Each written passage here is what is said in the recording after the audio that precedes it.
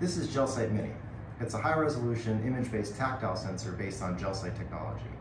We developed this device to let hobbyists, students, and others get access to GelSight technology and start to integrate tactile sensing into their robotics applications. Because this sensor is image-based, we can take advantage of image processing and machine learning architectures that have been built for processing images.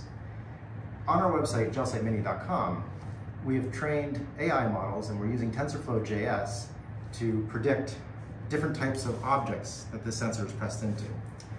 For example, I can press it into US coins. It tells me the type of coin that's pressed into. I can press it into different screws. My fingerprint. You can see that the GelSight sensor reveals an incredible amount of detail about anything that this touches. So we believe that this can really open up tactile sensing as the next frontier in robotics applications.